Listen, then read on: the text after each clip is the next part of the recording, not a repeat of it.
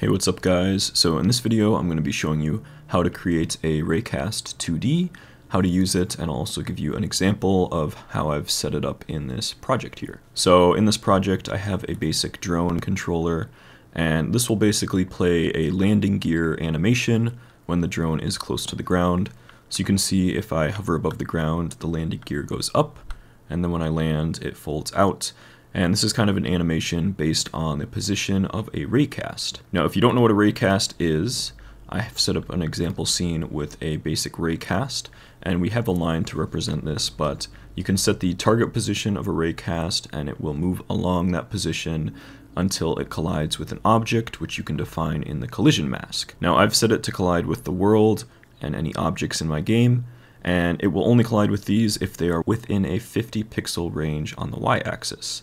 Now we can obviously increase this to something like 100 if we want, but I'm going to keep it at 50. Now in this example scene I've also set up a line 2D to kind of visualize where our raycast is going in the game, and I also have a label that can display some various info which we will be setting through the script. So in our raycast script, we are basically getting the raycast node on ready, storing it in this variable, and then in the ready function, we're kind of just setting up some line stuff. You can ignore that. And then in the physics process, we are going to check if the ray cast is colliding with an object by using the is colliding function. Now, if it is colliding, we can get a couple different properties from the raycast. So we're going to say collider is equal to raycast.getCollider, and this will kind of get the node which you are colliding with, and then we can get the collision point. point, and if you use the getCollisionPoint method, this will return the point of the collision in global coordinates. So I'm also creating a variable here to store the local position. So all we're doing is converting the global collision point into a local point, with the toLocal function. Now in the next line, I'm setting the text of the label equal to some basic info, and I'm also setting the color of the line 2D, but you don't really have to worry about that. So to see it in action, we're going to go back into our game, and I'm going to show this raycast example node. And when we go ahead and play the game, you can see we have this line, and then when we are colliding with something along the raycast's line, it will show what we are colliding with, the point, and the local point.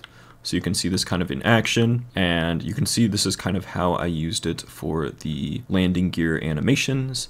So I'm basically just getting the point of the collision and then the distance to that point, and then tweening the rotation of each of these landing gear parts to a position on a curve so I can define kind of how much I want them to rotate in during the landing. But that's basically it for using raycasts. If you'd want to check out the documentation, there is a couple more functions you can use. For example, a raycast 2D will only update once every physics frame, and then we'll store the collider until the next frame. So if you want to update a raycast multiple times in a frame, then you'll want to call the force raycast update method. And also if you're trying to send a raycast outward in a bunch of different directions, um, you could either use multiple raycasts, but I find that to be slightly inefficient.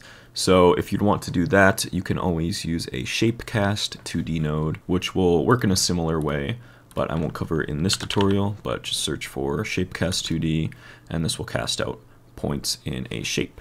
But anyway, that'll do it for this tutorial. If you enjoyed the video or learned something new, make sure to leave a like. If you need any help with game development or Godot specific topics, you can join the Discord server and go to the game dev help channel where I'll try to help you out. But that'll be it for this video and I'll see you in the next one.